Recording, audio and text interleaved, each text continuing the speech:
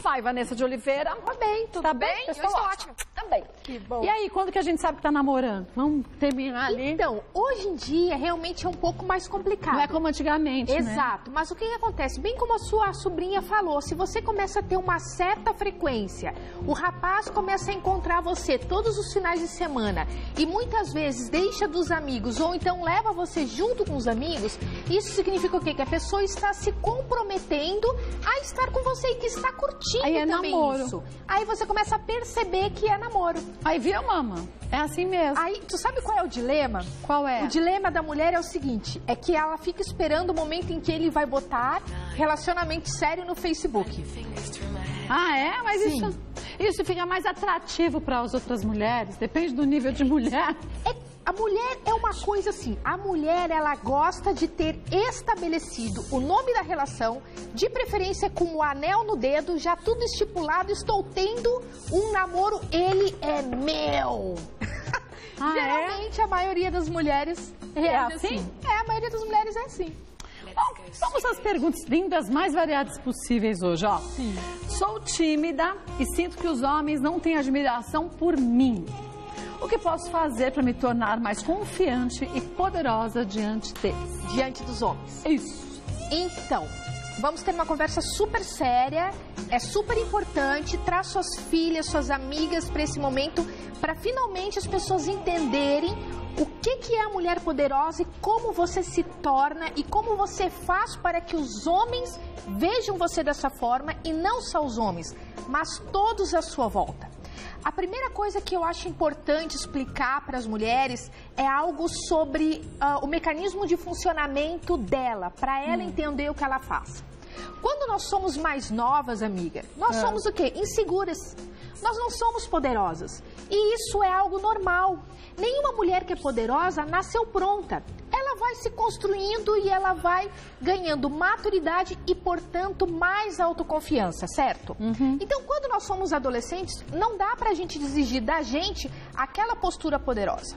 O que que acontece? Algumas mulheres estacionam nessa fase da insegurança Não se e não se desenvolvem. desenvolve. E algumas mulheres vão se desenvolver.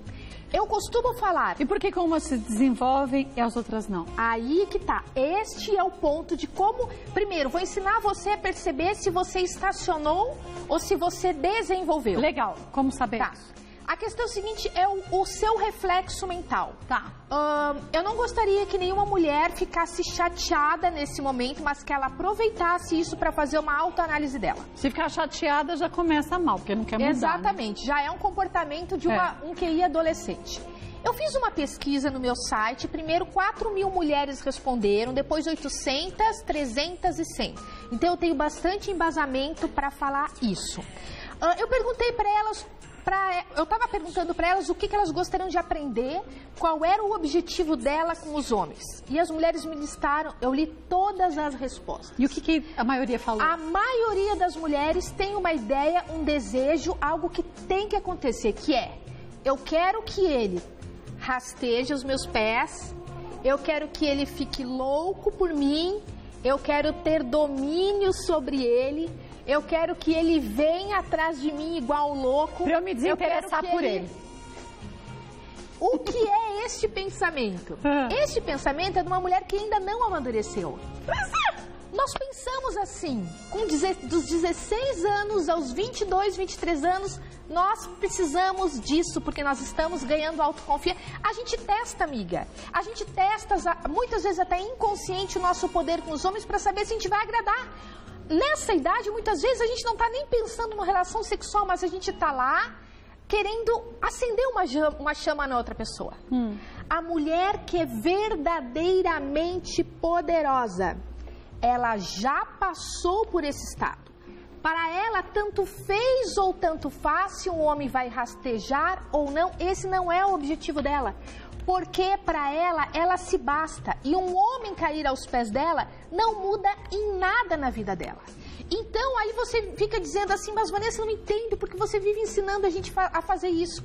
Eu faço, ensino as mulheres por quê? Porque elas estão na Na construção transição. e na transição. E uma hora ela vai mudar. Agora o seguinte: digamos que eu já tenha me reconhecido, Vanessa, eu estou imatura, eu quero me transformar numa mulher poderosa, o que eu preciso fazer? Todo um trabalho mental de conscientização e também de técnicas que vão te ajudar. Hum. Porque às vezes, amiga, é o seguinte: ah, um batom, um salto alto, todas essas coisas não constroem de verdade uma mulher confiante, mas ajudam. É uma bengala. Enquanto você não sabe andar com as suas duas pernas sem o salto alto, se sentindo confiante, Se sinta poderosa salto- com outro artifício, Exato. né? Isso É. ajuda, alimenta. Então, principalmente, ó, você quer que as pessoas tenham uma imagem de você, de você como uma pessoa poderosa. Postura. Como é a postura das pessoas que são poderosas? É uma Eretas. Exato. Ninguém fica assim, né? Isto. Mulheres, vocês querem parecer poderosas, bem resolvidas diante dos homens. Vocês viram como é que eu e a Kátia falamos? Com firmeza. E usando as mãos. Você se expressa e você se expõe com as mãos. Mas não pode falar de uma forma frágil. Exato. Em dúvida, né? Exato. Uma mulher que é tímida e uma mulher que é tímida, uma mulher que é fechada, que ela é retraída, ela nunca será uma mulher expansiva. Ela é uma mulher que tem a tendência a botar as mãos no bolso e ao se sentar, muitas vezes ela se senta e coloca as mãozinhas dela onde? Embaixo das coxas. Mas parece que tem 13 anos. Exatamente. Mulheres que têm um comportamento e que também passam essa imagem para os homens e para as outras pessoas à volta dela. Que costumam juntar os dois pezinhos fechadinhos. E de ladinho? É, pode ser de Tipo de ladinho e de frente, isso, fechadinho. Com as duas mãozinhas no joelho. Não são mulheres com postura poderosa. Eu acho que não são mulheres confiáveis. Ex- Estão querendo esconder É. alguma coisa. Sabe o que, que é, amiga? Ah. Também, também. Esta é a postura da pessoa que ela está tentando passar. Eu estou certinha, eu quero que todos me vejam como certinha, então eu estou comportada e padronizada. Ela é engessada. Ela é engessada. Quando a mulher ela é vista como poderosa, ela se senta de uma maneira confortável. Ela cruza as pernas, porque para ela isso não é problema, e os braços delas aqui, ó, Ficam estão soltos. soltos. Por que a gente tem essa, essa parte? É importante que você em casa esteja ligado em algo. A comunicação que nós passamos com o outro, eu e você nós estamos conversando, né?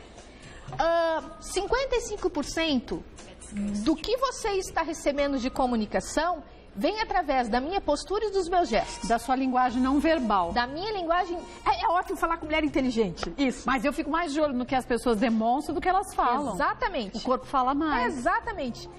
38%, amiga, vem do tom de voz que você. Presta atenção, vem do tom de voz que você usa. E o resto vem daquilo que a sua boca tá falando. Uma porcentagem muito menor. Muito. Amiga, se eu fizer isso daqui, ó, Não precisa falar mais nada, está entediada. você já tá sabendo que não tô gostando. É verdade. Então é isso que você tem que. Por exemplo, as mulheres que vão à procura de um emprego, que vão fazer uma entrevista de um emprego. Elas querem que a outra pessoa veja que ela é poderosa. Ela não pode fechar os braços, ela não pode esconder nada, ela não pode estar tímida. Os braços delas têm que estar solto e expansivo. Mas à vontade, não é pra você fazer aqueles passinhos É. marcados também, né? claro. Pra movimentar os braços. Claro, porque isso daqui significa estou pronta para agir. Uma mulher que é poderosa é uma mulher que age na sua vida. Então a outra pessoa entende essa situação. Ah, outra coisa muito importante que ajuda você a ganhar confiança e ajuda a fazer com que os homens te vejam como poderosa e que se interessem por você. Mulherada, ó, vou ensinar vocês a magnetizarem a atenção dos homens. Como magnetizar isso? Ah, você tem que ser uma contadora de histórias. Tá. Isso magnetiza a atenção das pessoas. Então, como você vai fazer? Às vezes eu digo para as mulheres assim, amiga, quando você sentar para conversar com um homem, você pode ter aquela conversa baunilha, oi, como é que vai? Chove conversa baunilha? Aquela ba- É aquela conversa sem tempero, aquela conversa morna, normal. Um início, né? Um, aque... um esquenta, um aquece. Isto.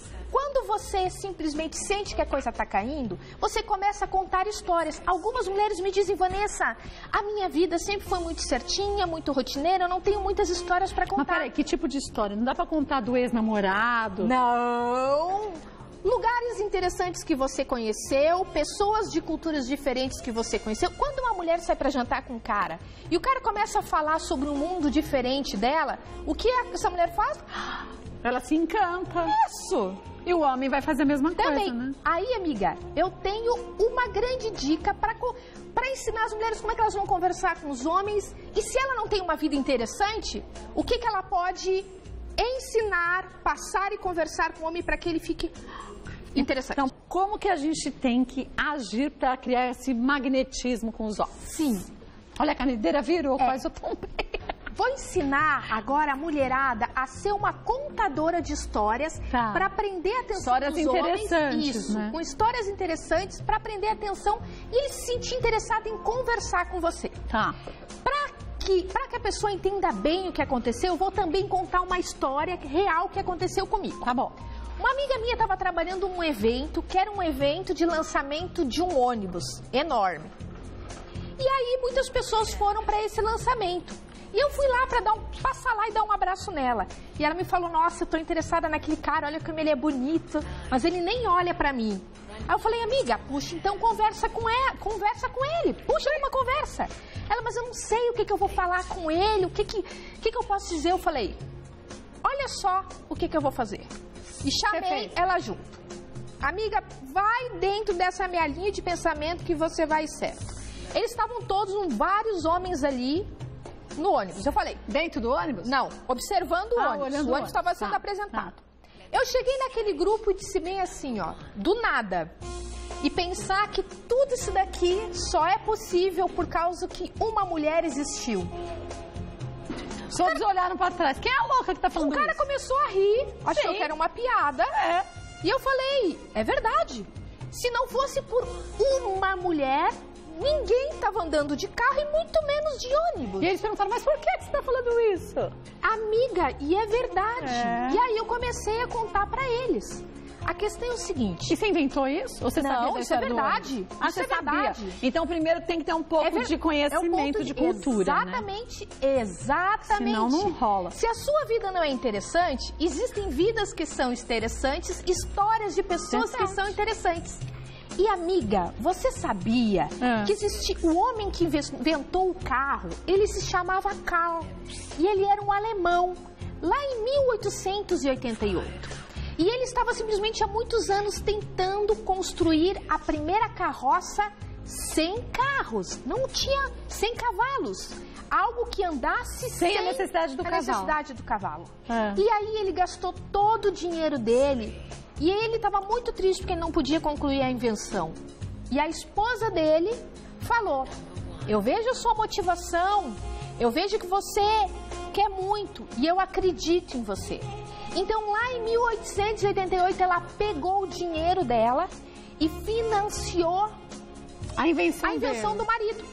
Olha aí. E ele, amiga, não fez mais nada, parou de trabalhar e ficou três anos Só trabalhando. nisso. Um dia o carro ficou pronto e ele estava muito envergonhado. Ele não queria mostrar, ele não queria Ele sair achou que na não fosse rua. tão bom? Achou que não era bom, ele achava que era uma carroça muito feia e, na verdade, amiga, ele estava com medo da reprovação, porque aquele momento era a comprovação do vamos ficar ou não vamos ficar com isso. Muita gente evita. É verdade. Tem muita gente que termina um livro e não manda para editora. E aí ela disse. Eles tiveram uma briga muito feia à noite. Ela falou: Eu confiei em você, eu dei o meu dinheiro, essa invenção também é parte minha e você está me decepcionando. Você não tem coragem de mostrar ao mundo a sua invenção? E aí? Foram dormir brigados. Ela levantou de manhã, ela subiu dentro do carro, ela ligou o carro, porque não tinha chave, ela ligou o carro e, amiga, ela saiu de carro mostrando para a cidade toda A invenção do a marido. invenção do... E as pessoas, "Ah, mas é a senhora Bens, a senhora Bens que está lá, que...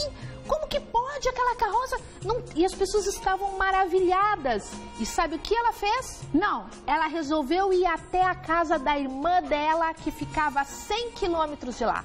Amiga, ela nunca havia dirigido na vida. É, Se não tinha carro? Não, não existia, Existia? carro. E aí, Não ela foi não pra lá? existia- Não existiam oficinas. Se quebrasse o carro, ia ficar na estrada. Ah, mas também ninguém sabia consertar, porque não existia outro mesmo, ia ficar por isso. No caminho, tinha o freio do carro. O freio do carro era uma alavanca. Mas ele era movido a quê? Amiga, ele inventou o primeiro combustível também para o carro. Ah, Ele também. isso. Por isso que durou tantos anos. Tinha uma alavanca que na verdade era uma madeira que ela fazia assim. E aí a alavanca, a parte de baixo, arrastava embaixo. Que era o freio de mão. E ela não gostou muito daquele negócio. Pensa, amiga, hoje em A dia. força que você ia ter que fazer. É, ela não gostou muito. Então, ela parou num sapateiro. Ela pediu para que o sapateiro colocasse o couro ali na parte de baixo. Pra ajudar a parar o carro. E sabe o que, que ela inventou? Ah, O freio a pastilha que nós conhecemos hoje. E aí ela mostrou pra irmã dela, todo mundo começou, a notícia começou a se divulgar. E aí ele simplesmente, ok, todo mundo gostou. Senão estaria lá escondido dentro. Então, amiga, nós você encantou aquele monte de homem com a história. ficaram assim, porque a maior parte dos homens simplesmente sabe que o primeiro carro foi Mercedes-Benz, foi a família Benz, mas não entende esse negócio. E aí eu comecei a ver, né? Por isso que nós dirigimos também, nós somos as primeiras motoristas. Eu falei, as mulheres são incríveis. E aí um cara já começou a conversar comigo e eu chamei, ó, vem aqui que eu quero te apresentar, a Michelle, essa daqui é minha Mas aí amiga. a Michelle desenvolveu o assunto? Desenvolveu e Ah, eu azarpei, amiga. É, porque se a tal Michelle também não tivesse nenhum assunto agradável, tinha morrido tudo aí. Sim, sim. E Então, tem que ter um primeiro uma cultura. Uma cultura, uma cultura. Então, o que, que você faz? Leia biografias, É. livros que tenham mil e uma curiosidades. Porque daí Tem você... tanto um manual, o manual da- do curioso, manual não sei de quê. É? Com coisas Sim. interessantes e diferentes. Por que, que o nosso quadro é um também, entre tantos quadros que tem aqui, que também chama muita atenção das pessoas? Porque todo mundo aprende. Porque a gente traz coisas novidades, curiosidades. Porque daí você sente vontade de ficar perto daquela pessoa. É verdade. Entendeu?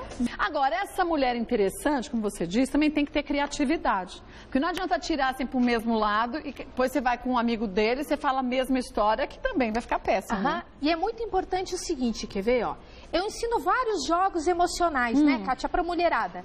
Você não pode conhecer um homem e sair aplicando todos esses jogos emocionais Num e só. todas essas dicas. Porque o que, que acontece? Você estafa a pessoa, você acaba virando aquele, aquela palhacinha engraçada que mexe com as emoções dele. Então, o que, que é? Quando você sente que o nível de interesse dá uma caída, você aplica.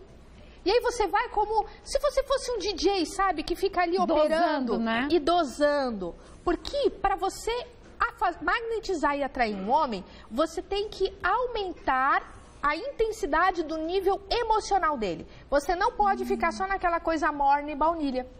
Porque senão daqui a pouco ele perde o interesse do mesmo jeito. né? Exatamente. E ser bem-humorada, né? Porque gente bem-humorada ajuda bastante no relacionamento. Claro. né? Gente mal-humorada, eu pelo menos não suporto. Deus me livre. Tudo bem, tem dia que não é todo dia que você está bem-humorada, mas tem que ter, pelo menos na maior parte dos dias, um bom humor, né? Sim, com E certeza. a mulherada normalmente é meio mal-humorada. É que geralmente a mulher ela não tem muito senso de humor. Ela é acostumada e foi educada a não ficar contando piadas e a ver a vida de uma maneira mais séria, entendeu? Mas ela perde aquela criança dentro dela. Ela às vezes quer fazer alguma coisa e ela não faz porque fica pensando como os outros vão julgá-la. Esse é um problema. Então, menino, se a gente já pensar nisso, a gente não faz nada. Nenhuma mulher poderosa está pensando se vai agradar ou se não vai agradar. Ela simplesmente se agrada. Ela se agrada. E agrada os outros indiretamente, né? Claro. Nas palestras também se ensina as Ensino. mulheres de todas as idades. E aí a gente não está falando só de sexo, gente. A gente está falando mais do que isso. Infelicidade pessoal, porque aí o resto se agrega, né? Autoconhecimento, poder de sedução, realização dos seus projetos e também a parte sexual, que é Sim. muito importante. Mas não só isso, porque às vezes as pessoas falam, ah, sexualmente eu sou bem resolvida, mas meus problemas são outros. E depois quando você vai na palestra, você vê que é um conjunto só, gente. Exatamente. Tanto que a minha é? palestra dura quatro horas, Quatro amiga. horas? Isso. Bastante, hein? E eu tenho palestra agora, gente. Sábado. por isso, porque é uma das, das últimas palestras que eu vou fazer presencial. Então, realmente é sua oportunidade. É dia 20 Esse agora, sábado, duas e meia da Isso. tarde, aqui na Avenida Paulista 509. Tem que ligar para reservar, tá, gente? 2167-9900, 2167-9900. Você vai ganhar o livro. Esse livro Como aqui, enlouquecer um homem na cama e fora dele também. Só da palestra. Só da palestra. palestra. Agora, lembrar, gente, tem que reservar ligando agora. Se deixar para última hora, você vai ficar na mão, tá? 21679900 hoje na fanpage. Você vai curtir e vai compartilhar o post que vai ter sorteio também de livro, Isso, né? desses três livros lá. Então você só entra, compartilha, pá, que daí você vai estar sendo sorteada. Sexta-feira eu já estou sorteando Legal. as pessoas. E não deixe de ir, porque essa palestra muda a sua vida completamente para você se sentir uma mulher poderosa. E se tornar uma mulher poderosa, E né? eu ensino até os homens aqui, amiga. Mas aí do jeito certo. Do viu? jeito certo. Olha, o site mesmo. é www.vanessadeoliveira.net e o Twitter Vanessa Sexóloga. Pode Ah, e a minha fanpage é o Vanessa de Oliveira Oficial. Oficial. Tem que botar oficial junto, Não vai senão pra pega outra. outra pessoa. Que não é. Tchau, Bela. Muito obrigada. Boa amiga. semana e bom curso, viu?